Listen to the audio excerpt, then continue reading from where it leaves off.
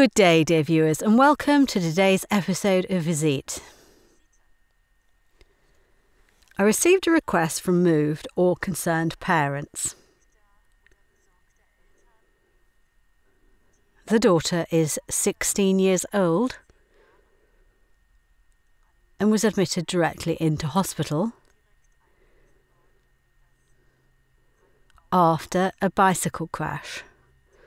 There was a strong suspicion of a concussion. The daughter stayed in the hospital because a concussion requires a three day stay with control and observation. Of course, such trauma from a fall can cause bleeding and a hemorrhage in the brain. Creates, of course, sometimes as a seeping hemorrhage and changed pressure conditions. And in the context of this observation, this young girl then stayed in the hospital. You can't get up, then you really have to lie down. An MRI was done.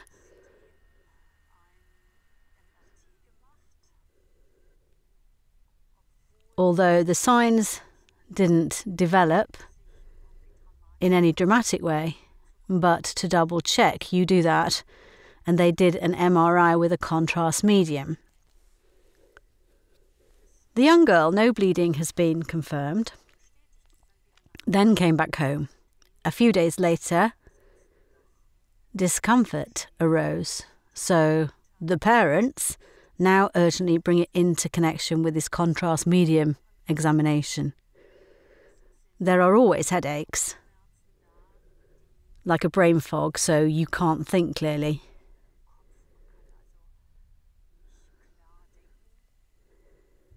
There are various pains that change in the body especially dull pains as described by the parents, on the hands and on the feet. The young girl suffers from nausea again and again, and sleep disorders. Now it makes me investigate the question can there be a connection with the contrast agent examination? And we're talking about gadolinium here. I did a little more research, of course, and it's not the first time we've encountered this issue, that's a fact. This element, gadolinium, was discovered in 1880 by Charles Marignac. At that time, he was investigating the components of samarskite.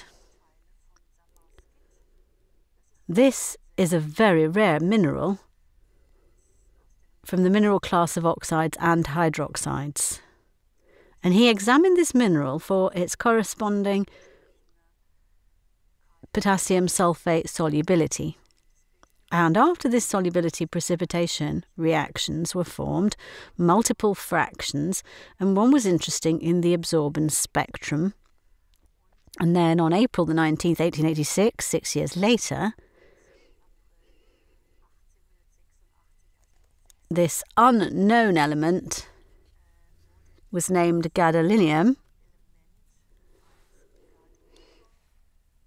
abbreviation GD, in honour of the Finnish chemist Johann Gadolin. That means since then, we also use this con- contrast medium with all its toxic consequences and it's also noted by the manufacturer. And there are warnings in the relevant statements. So, people who go to an MRI scan but also have to undergo magnetic resonance have always felt fairly safe in the past, but the knowledge of the high toxicity has actually been known for many years. Gadolinium, as a contrast agent in magnetic resonance imaging, is one thing. But at the same time, because it is, of course, also known in terms of toxicity, a chelate binder is added. This chelate binder is the DTPA, so that it is actually very quickly bound again and excreted through the kidneys. But gadolinium is needed for many other things. For example, the production of green fluorescent tubes, but it's also used in X ray technology, or, for example, in the use of microwaves. The list is long. The annual estimates of the use of gadolinium in the context of nuclear medicine is 2 to 4 billion doses of gadolinium based contrast media per year worldwide. The toxicity is measured by the integration area, namely, the gadolinium can be built into the liver as well as into the bone system and then stay there for years. The free gadolinium can then act as a calcium antagonist and can affect the contractility, so the muscular tension of the my- myocardium. This results in a myocardial muscular weakness. And the other thing is that it inhibits the clotting system.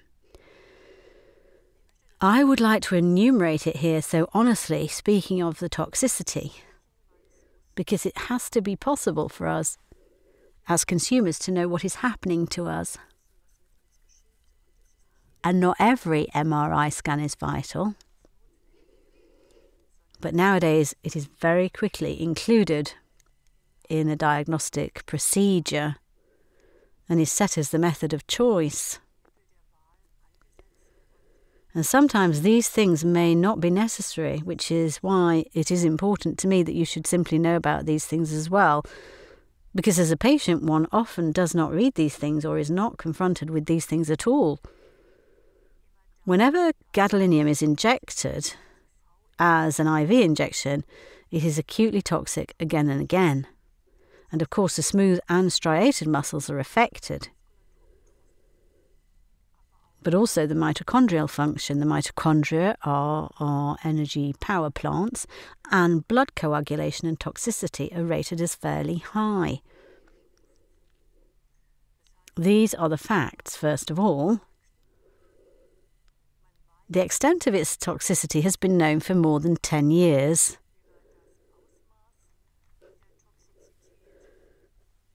And it has been observed that the nephrogenic systemic fibrosis, so high quality kidney tissue, then transformed into fibrosis. And whenever it turns into fibrosis, these are connective tissue cells and no longer highly clinically effective cells that regulate metabolism and detoxification, but are replaced by connective tissue cells. And as you know, for example, with the liver, if the liver steers into a fatty liver,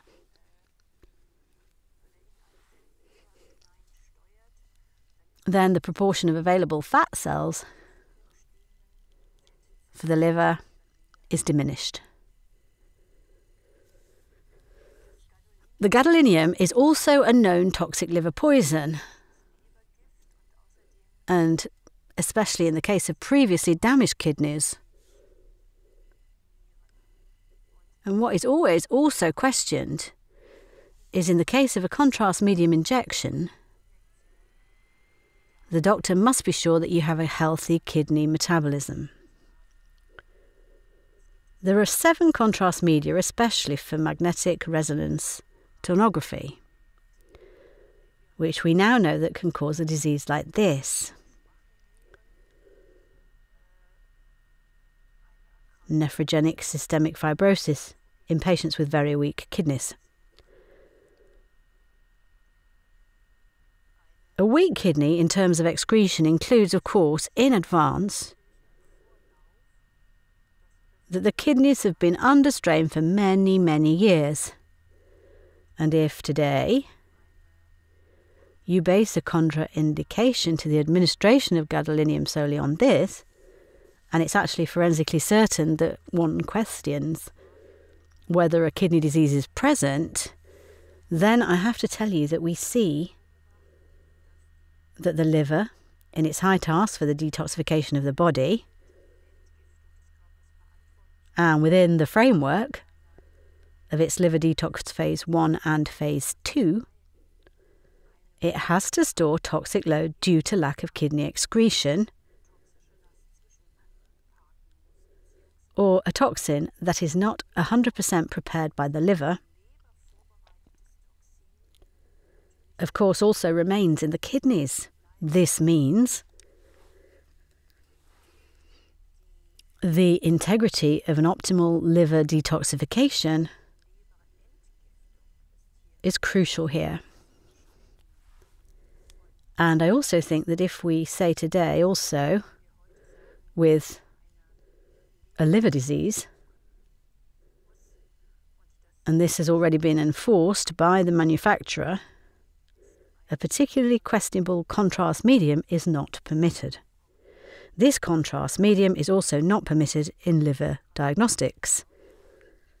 Then that has already indirectly achieved, in my opinion, a high level of mindfulness in nuclear medicine. And yet, within the framework of all other nuclear medicine investigations, it is limited to kidney health. So, medically, we are always very quick to see not only a kidney dysfunction, but kidney disease on the one hand, but also these many functional weaknesses that people develop in the course of life can then be the cause as part of such a contrast agent examination to break the camel's back. And of course, and for example, the USA have approved Optimark, Bayer's Magnevist, Omniscan, and Multihance Biodiagnostics these are four contrast media, for example, with very dangerous effects on human health, which should only be used under protection, if you ask me. All the knowledge has existed since 2006, and the occurrence of diseases immediately after the gadolinium dose is one thing. The other is that, of course, long term effects can occur up to 18 months later, and it's not just the so called nephrogenic systemic fibrosis, so the generalized development of a connective tissue nephrosis, kidney disease, but there are also structural changes in the brain that result in neurological disorders. There are joint problems, up to rigidity, up to mitochondriopathy. That means the energy metabolism at the cellular level is restricted, unclear blood clotting disorders oppressive, tingling pain all over the body, limbs, at the joints, in the chest, often also in the area, sometimes during the MRI scan, but then maybe right there where the MRI scan was, again and again, this tingling in the head. Bone and muscle pain Sometimes people can no longer bear clothes on their skin, pain that is triggered when it is cold, or even tight fitting, scratchy clothing is no longer tolerated. We also observe, even after a long time, ENT symptoms such as dizziness or speech problems, difficulty swallowing, locally limited muscle contraction, but also reduced strength through muscular changes, visual disturbances, slight double vision, blurred vision, but also skin changes such as itching, sudden, sudden eczema outbreak, preferably on the extremities or the trunk. I really don't want to continue the series. I just want to say also hair loss, taste that has a metallic touch, dizziness, sudden calcifications, so calcium deposits, maybe in the shoulder, trouble sleeping, digestive problems, some intolerance to heat, cold, all that is in the meantime. And the research is, of course, constantly, constantly large, a symptom picture, which has, of course, also been classified over the years. And you have to address the topic at a corresponding MRI examination in any case because the colleague in question can only switch to another product if you ask them. Today, there are other substitutes for gadolinium with table salt with glucose. Among other things, there is a wide range for the doctor. But what one should perhaps absolutely do, whenever possible, because very often these examinations are planned if it doesn't have to be done in an emergency. But if these examinations are planned and will be planned, is always to weigh up the risk for such an examination at the beginning. And I think we are pretty quick today to get a computer aided imaging to rule out the worst.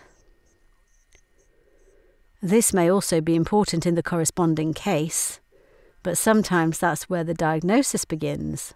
And of course, as colleagues who are specialised,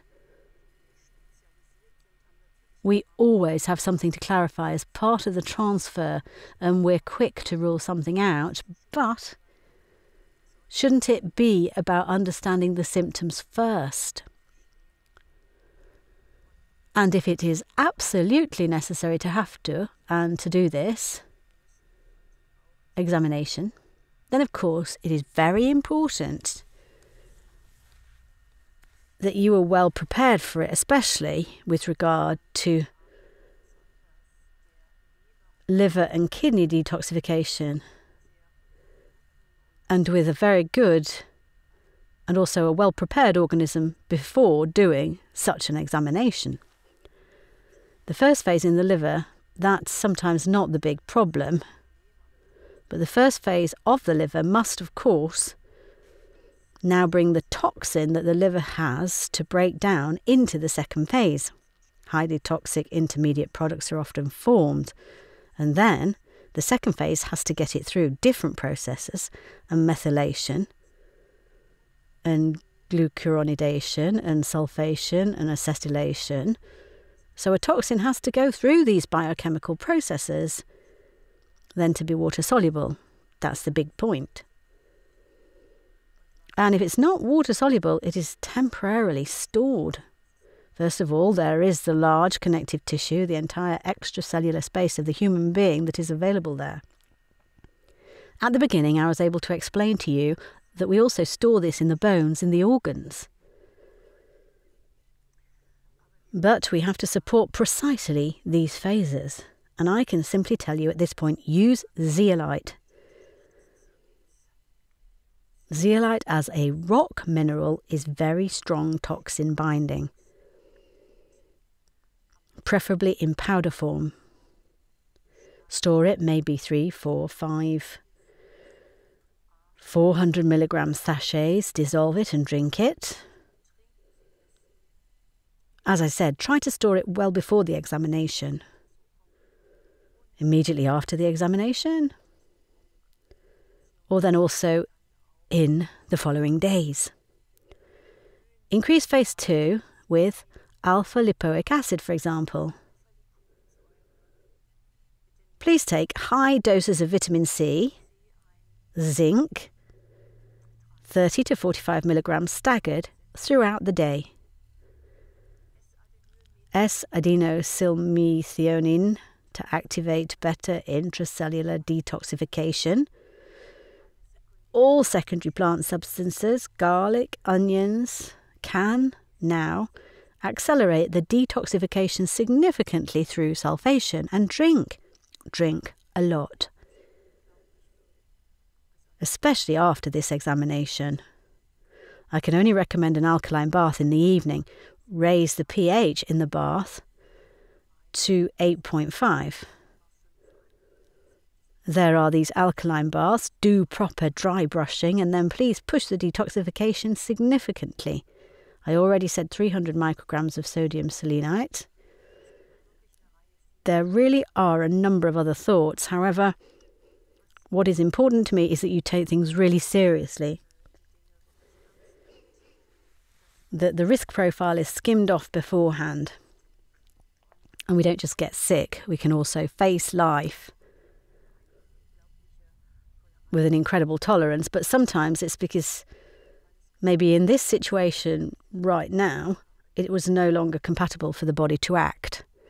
And we should have respect and admiration for what we do and don't just do it in any case, but be very aware how do we protect people? And please question that if such an examination is pending for you. And in that context, I hope I could give you, as parents, some recommendations Finally, a word about INUSpheresis. This is a plasma process in which we filter one and a half times the entire amount of blood extracorporeally through an appropriate environmental filter. And of course, it's an incredibly elegant method, even after such contrast medium examinations, to bind the gadolinium here and all sorts of other organophosphates, herbicides, pesticides, inflammatory immune complexes, toxic metals, mercury, lead. There are a lot of options now. But maybe I can end this with this one. Thank you very much for your attention today, and I am really looking forward to the next week with you and the episode in our Visite series. Thank you, and goodbye.